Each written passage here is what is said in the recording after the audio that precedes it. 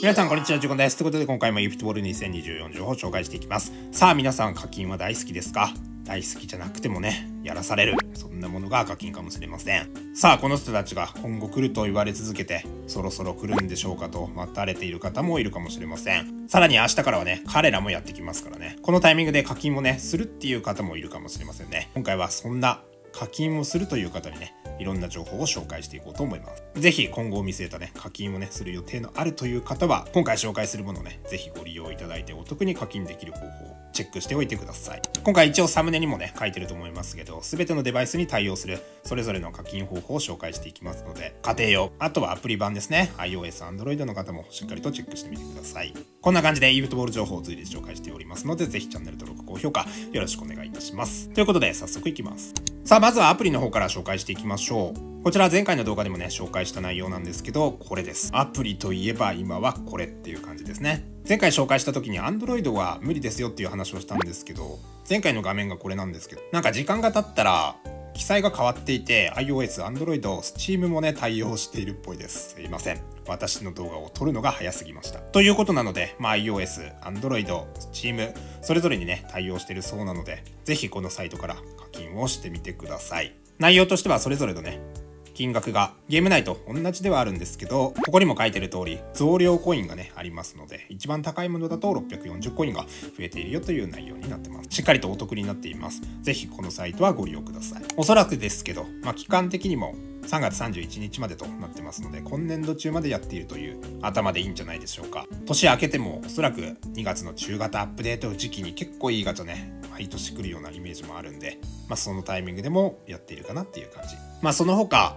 アプリをやっている方で、クレジットカードとか持ってない方もいるかもしれませんし、あれ、確か年齢制限があるっぽいですね。年齢に引っかかったっていう方もいるかもしれませんね。まあそんな方は一応 Amazon ブラックフライデーセール今やってると思いますけど、Apple ギフトカード最大5%還元。いいや、私は Google プレイの方が欲しいよっていう方もね、こちらも5%還元キャンペーン始まってますので、ぜひエントリーを忘れなく。エントリーとかのね、動画はいろんな方出してるんで大丈夫でしょう。こちらご利用できる方はね、ぜひやってみてもいいんじゃないですかね。まあ実際にネットとか、あとはクレカとかを返さない買い方で考えると、やっぱり店舗に行ってみないとちょっとわからないので、もしかしたらどっかでやってるんですかね？最近私は店舗で物を買うというのとやんないので全然わかんないんですけど、ゲオとかコンビニとかどうなんでしょう？その辺の情報はお待ちしております。一応データ上にあるのはこんな感じで、今後来るのはイタリアのミッドフィルダーズ、あとはイングランドのアタッカーズ、あとはまあヨーロピアンとかワールドワイドはちょっと読みにくいですけど、まあリーグ単位だとそんな感じかな。データ上もそれしか出しようが今のところないかなっていうところと、先ほど言ったバルサのビッグタイム。で、次のシーズンが12月の7日から始まるんですけど、まあ、来週の月曜日のガチャはね、すでに判明していて、次のシーズンまでにまだ12月4日月曜日がね、あるということを考えると、もう一回今のデータでやってくることが考えられます。そしてそちらが終わればね、いよいよ次のシーズン、シーズン3がおそらくやってくると思われますし、またこのタイミングでね、新たなデータがね、追加されそうですから、また違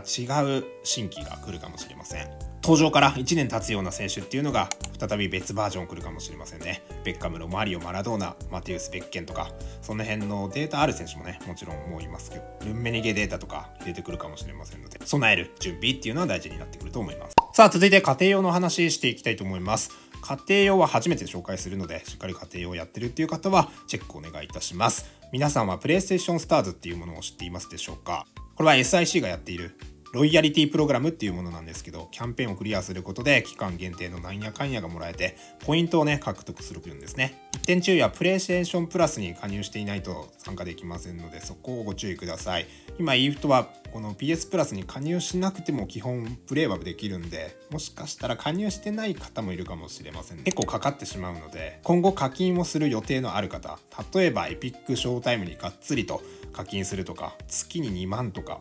5桁単位とかで課金する予定がある方はいいかもしれませんね。こちら、プレイステーションスターズに参加する方法を紹介していきたいと思います。まずは参加申し込み、アカウントを持ってないとね、参加できないっていう話ですね。アカウントを皆さん持ってますよね。大丈夫です。続いてアプリを入手します。持っているスマホ、タブレット、そちらのデバイスで、プレイステーションアップっていうものをダウンロードしてください。はい、えー、こちらですね。そしてキャンペーンを始めます。さあ何がもらえるかっていう話なんですけど、まあ2つね書かれていると思うんですけど、まあ上は一旦置いときます。よくわかりません。下がねポイントになるんですね。ポイントっていうものです。獲得したポイントはリワードカタログにあるコレクティブル、そして一部のゲーム、そして重要なのが、プレイステーションネットワークのウォレット残高と交換することができます。ここが一番大事ですね。そして獲得方法はね、まあ3つほど書かれていますけど、注目は3つ目の右側ですね。プレイステーションストアで買い物をする。プレイステーションプラス加入者は、ストアでゲームや追加コンテンツなど対象の製品を購入するとポイントを獲得できます。そしてこのポイント、プレイステーションネットワークのアカウントのウォレット残高と引き換えたりすることができます。つまりゲームを買ったりとか、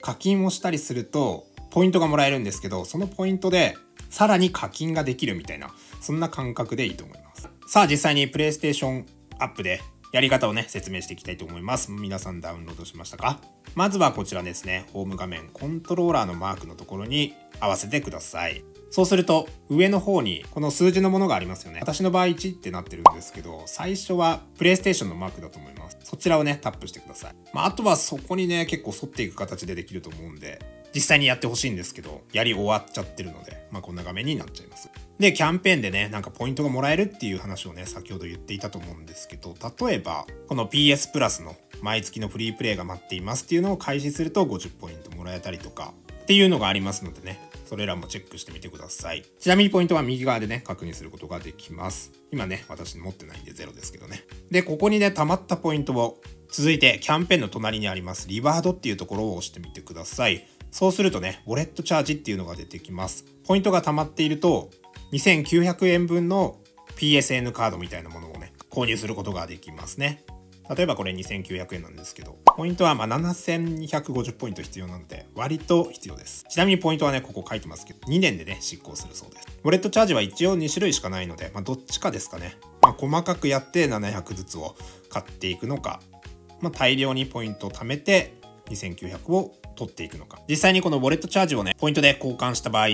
ゲーム内のプレイステーションストアの右上ですね、点線3つあると思うんですけど、ここのウォレットのところにしっかりと残高記載がね、出てくるそうです。交換できたのかね、ちょっと不安だなっていう方はそこもチェックしてください。さあ、こちら利用するためにはね、PS プラスにね、加入しないといけなくなるんですけど、もしね、加入していないという方はね、とりあえず加入する予定があるのであれば、この現在やっているブラックフライデーセール期間にやるのがおすすめになっています。現在12ヶ月利用券が最大30%オフになってますので、この機会を逃さずやってください。で、PS プラス一番安いもので12ヶ月利用券が6800円なので、まあ、30%オフだと4760円ですかね。まあ、こちらで1年間使えるし、まあ、ポイントもね、課金するのであればお得にできるという感じですかね。なので、めちゃくちゃ課金する方にはとっては、これ加入しておいていいんじゃないかなって思います。この PS プラスに加入することで、3ヶ月に一度、無料でね、手にできるアイテムっていうのがあります。300コインとトレーナーが4000が23枚ついてくるメンバーボーナスっていうのを受け取ることができますので、3ヶ月に一度来るんで、まあ1年間に4回、コインで言うと1200コインはね、手に入れられますし、トレーナーがめちゃくちゃもらえます。ただし、まあ、これだけでね、元を取ろうとすると、今回4760円。返ってくるのは1200コインぐらいなので、すごいお得っていうわけではありません。やっぱりポイントをね、めちゃくちゃ利用しないと、プラスに加入する必要はないかもしれませんね。ポイントの貯め方としてはそんな難しくなくて、普通に、まあ、ゲーム内でコイン購入するだけで勝手にポイントが貯まります。ちなみにポイントは、この1万2000円の部分を買うと1200ポイント貯まるそうです。1万2000を2回買えばしっかりと700円分のウォレットチャージをね、手に入れられそうですね。ちょっと説明が下手だったかもしれませんけど、もしね、今後課金するっていう方は、プレイステーションスターズ参加してみてはいかがでしょうか。そして Amazon のブラックフライデーセールの方で、プレイステーションストアチケットもお得に購入することができますので、この機会に、まあ、今後課金するとか、そういう方はね、ぜひご検討ください。ちょっと高いんですけどね、1万5000円分です。こちら1万5000円分のものを購入すると、1100円チケットっていうのがプラスでついてくるそうです。金額は1万5000円なんですけど、まあ、実質1万6100円分のコードが手に入るっていうことですね。ただ注意点としては、このオレンジ色の部分の記載に1100円チケットまとめ買い対象っていうものじゃないとお得になってませんのでそこだけ注意ですかねもし PS プラスに加入するの微妙かなって思った方はこっちをまあ何個か買っておくのもありかもしれませんはいえ、ということで、それぞれのデバイスに対応した、今、お得なね、課金の方法を紹介してみました。ぜひそれぞれね、活用していただければと思います。この年末年始はもちろん年末年始超えた2月あたりにね、なんか、毎年いいガチャ来るような、そういうイメージもあるんで、今回の動画が役に立ったと思う方は、ぜひ高評価、チャンネル登録よろしくお願いします。今回の動画は以上です。ではまた。